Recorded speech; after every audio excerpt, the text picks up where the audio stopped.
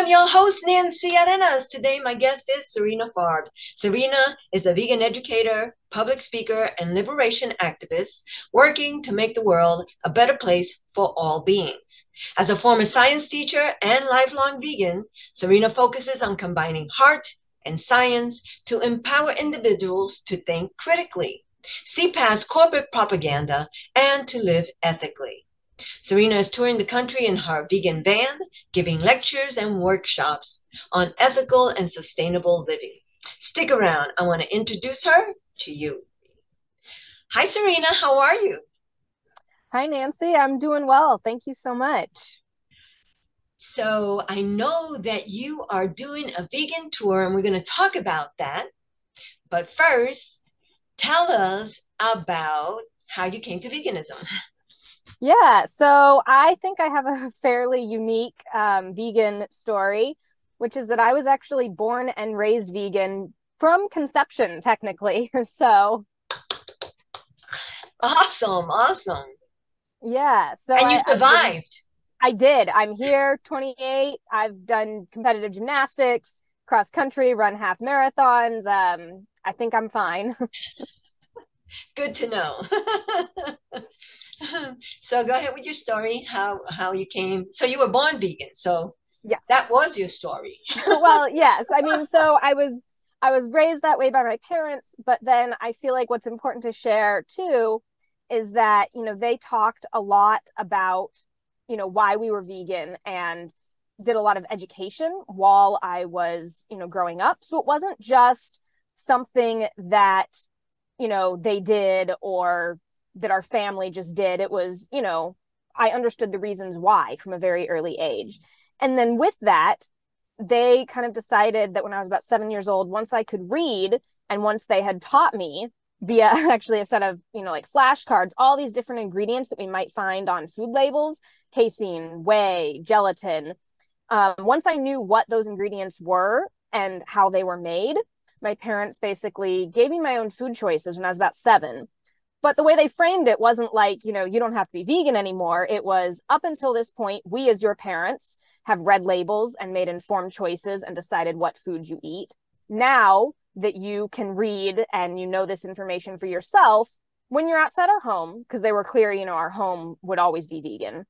It was you know and they would still choose what i ate at home because they were buying and making the food, but it was when you're outside the home with friends or at school and they offer you things, now it's up to you to read the label and make an informed decision for yourself. So when I was seven, I really chose veganism for myself with all that information. And, you know, the only thing that really changed is when kids would ask me, you know, why can't you have this? I would say, I can, I choose not to. Awesome. You know, that is great. Your parents should be mentors to other um, vegan parents, you know, because, you know, people say, hey, how could you tell your kid they can't do this? But the way that your parents phrased it and educated you and gave you the choice and, you know, awesome. And kudos to you for choosing to continue on what they had talked to you about and informed you about. Thank you. Yeah, I mean, I I never wanted to do anything different. Once you know the information, I feel like it was it was very straightforward to me. And your response, I can, but I choose not to, that's even more awesome. So again, kudos. I'm so Thank you. I'm so impressed by that. so now you were a science teacher as well. So it's not like you were raised by hippie parents in a commune, you know, whatever. So tell us a little about- bit. so tell us about you were a science teacher and um, you taught you tell yeah. us. I taught chemistry and environmental science as well um, at a high school for a couple years. And before that, my degree was in biochemistry as well. So I love the sciences. And that really started in high school when I was competing in science fairs. I conducted research at University of Kansas in a professor's lab. And then that kind of gave me a love of science and basic science research. So I went on to get my degree in that. And then um, ended up teaching high school chemistry and environmental science, which I loved. I love teaching. I'm an educator at heart but it just wasn't on point enough for what I care about. I felt like I was teaching students, you know, balancing equations or random chemicals and information that didn't have a direct real world impact on their life. Environmental science was a little bit, you know, more direct in that way. But the the chemistry, which I really do love, not so much. And I just found myself drawn to really wanting to, you know, focus more on, you know, veganism and ethics and sustainability of our diet and food choices to really empower students, you know, to live a happier, healthier, more ethical life in a way that really impacted the world and not just some random, you know, information that they would go on to forget. Right. And uh, excuse me. And now you are in Florida and you're on this vegan tour and you are heading our way to New Mexico. You'll be here in December. Um, so tell us about what made you choose to do the vegan tour and how's it going so far?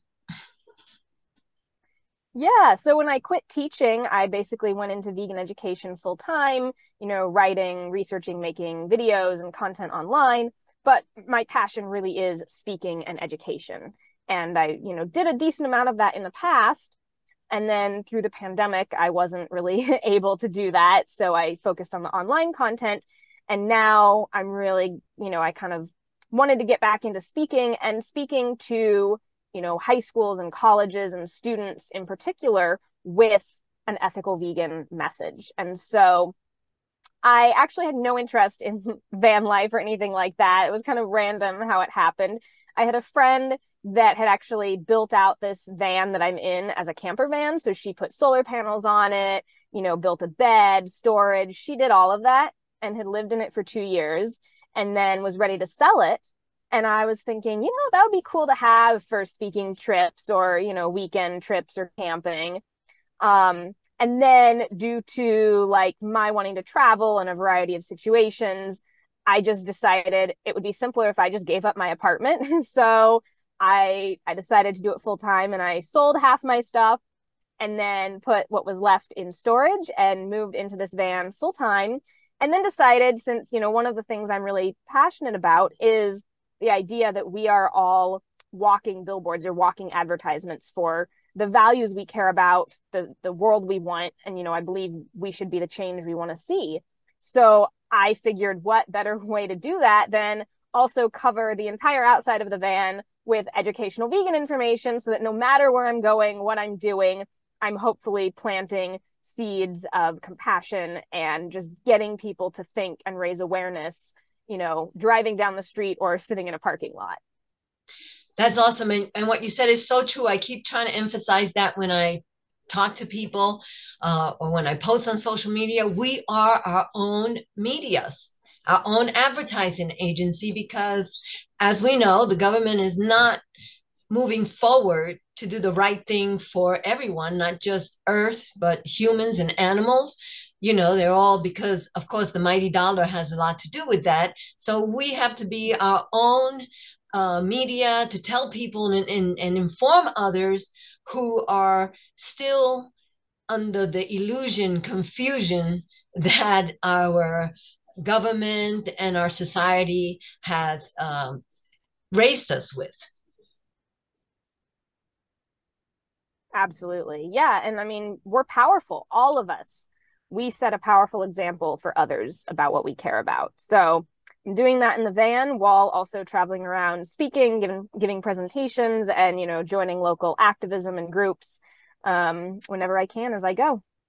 Yeah, that that is ter- that is um, terribly important for us all to do, and uh, to remember like you're traveling around in the van and your van is all decked out with vegan messages which is awesome you're going around the country um, talking about veganism giving workshops and you know sharing on social media and uh, and all the platforms that one can uh, whether it's your own posts or other people's posts is very important to our movement because without it i think that without social media we would still be back in the old ages when no one knew what veganism really was.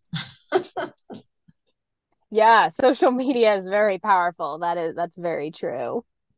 And and i think that that's why a lot of organizations don't like social media or people you know who have a lot to gain by keeping us uninformed uh, hate social media.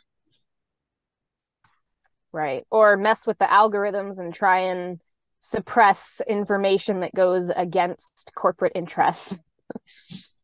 Now you have a youtube channel uh, where you talk about different topics um, and you also have a blog post? Yeah so i have a website bornvegan.org and there's links on that to i have a podcast and youtube channel instagram. All of that is linked on my website. More information about my vegan van and van tour is up there as well. Um, and then i do write some articles and essays on there.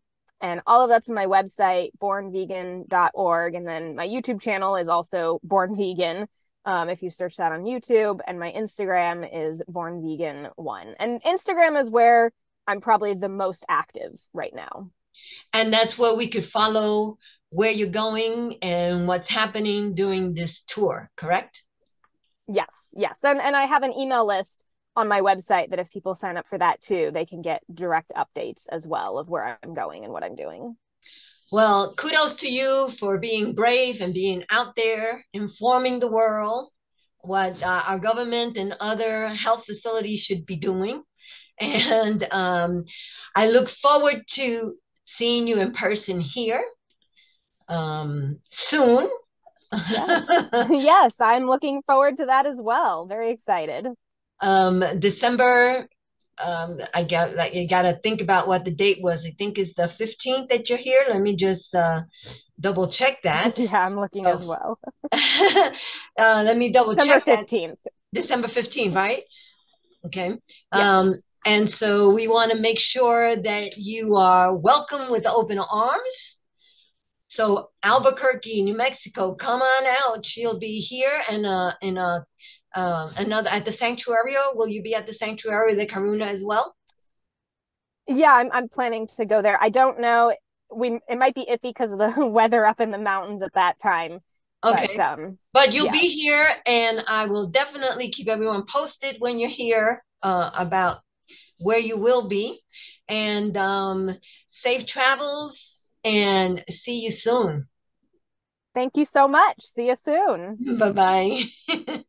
Thank you for joining us and another Vegan Pulse. I am your host, Nancy Arenas. Remember to check out our website, like us on Facebook, and subscribe to our YouTube channel. If you have a pulse, you have a purpose. Live vegan.